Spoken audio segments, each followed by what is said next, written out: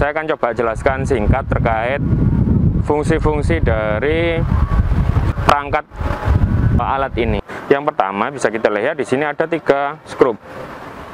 Tiga skrup ini biasa kita sebut skrup kiap. Fungsinya adalah mempermudah kita uh, mengarahkan alat agar level, agar posisinya itu posisi bubble-nya adalah leveling. Kemudian ada centering optis. Nah, centering optis ini gunanya adalah untuk membidik target titik uh, yang ada di bawah. Nah, untuk memastikan bahwa posisi alat kita memang sudah centering, sudah tepat berada di atas titik yang dimaksud. Kemudian ada skrup pengunci skrup horizontal, skrup penggerak horizontal. Nah, pada skrup ini ada dua. Jadi yang pertama adalah skrup untuk mengunci. Nah, di sini bisa dikunci. Tujuannya apa? Untuk mempermudah kita ketika membidik target uh, titik. Jadi target titik yang dimaksud kita bisa putar seperti ini. Kemudian ketika sudah dekat di, di target, kita bisa kunci skrup ini Kemudian kita gerakkan instrumennya secara horizontal perlahan. Nah, fungsi kunci ini adalah agar kita lebih mudah menggerakkannya secara perlahan. Sehingga posisi titik itu bisa tepat kita bidik. Ini fungsinya untuk menggerakkan e, teropong itu naik atau turun. Ini juga ada penguncinya. Fungsinya sama untuk mempermudah kita menggerakkannya secara halus. Sehingga ketika membidik juga tepat berada di posisi uh, titik yang dimaksud. Ini disebut visir. Fungsinya ini adalah sebagai panduan kita untuk membidik target. Jadi sebelum kita kita membidik target secara langsung dengan lensa kita bidik dulu dengan visir ini agar kita lebih mudah uh, menentukan targetnya.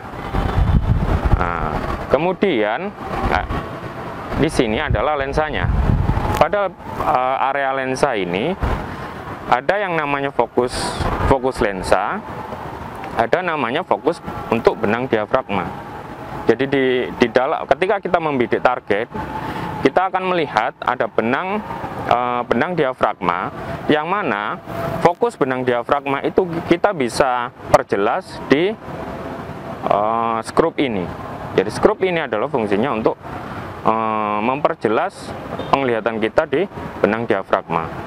Kalau yang ini, skrup yang ini adalah untuk fokus dari pandangan kita ke target. Kemudian ada satu lagi, ini adalah pengunci dari pengunci dari base plate-nya. Jadi alat ini sebetulnya bisa kita pindah atau bisa kita lepas dari base plate-nya ini. Nah, hal ini berfungsi ketika pada saat kondisi darurat, ketika ada masalah dengan base plate kita, kita bisa ganti base plate-nya ini dengan base plate lain. Karena ukuran dari base plate ini pada semua alat, baik e, total station maupun theodolit itu sama, sehingga kita bisa ganti. Nah, seperti itu. Nah, khusus untuk e, alat Topcon seri GM55 ini, memang display dari alat memang hanya ada satu.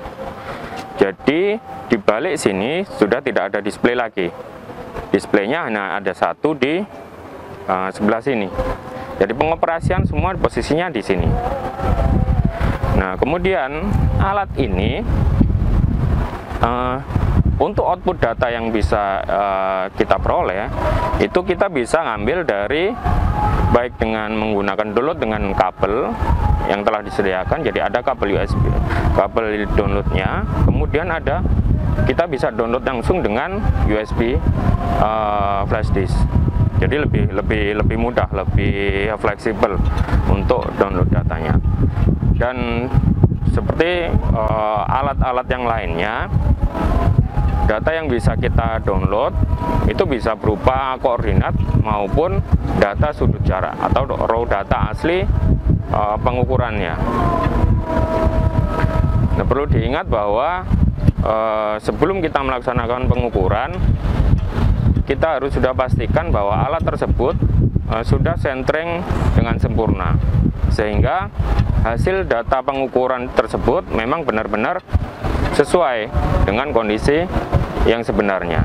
Jangan sampai alat belum sentring tapi kita sudah pergunakan data tersebut uh, tidak bisa dipertanggungjawabkan kebenarannya